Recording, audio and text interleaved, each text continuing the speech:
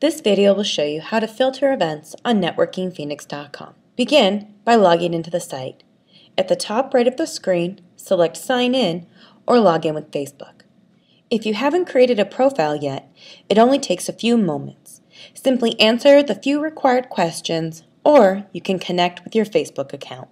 On the left side of the screen is a bar called Find Events. Beneath that, there are different search options for you. Under Top Searches, you will find some of the most popular search filters for the calendar. For instance, if you'd like to find events that are close to your place of business, click Near Work.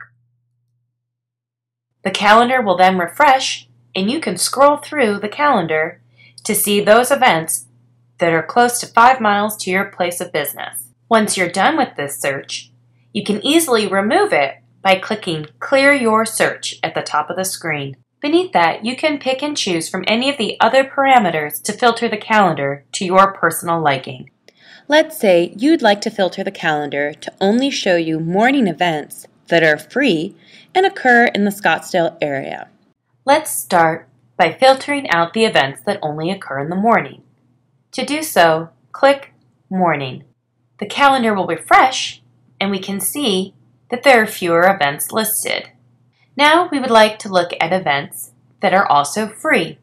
Now we can see the calendar shows even fewer events, as these are the ones that occur in the morning and are free. Now we want to see the ones that are also in Scottsdale. Now the calendar is showing our custom view of morning events that are free and in the Scottsdale area.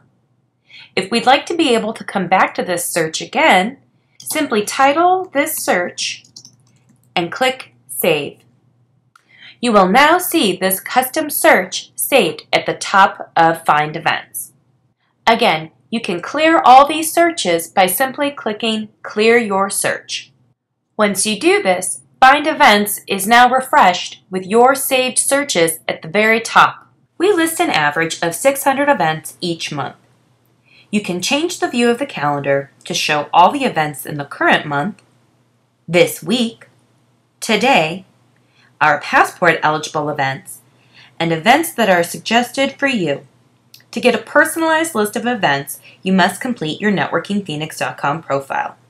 If you would like tips on how to do this, please watch the video titled Completing Your networkingphoenix.com profile. Thank you again for watching and happy networking.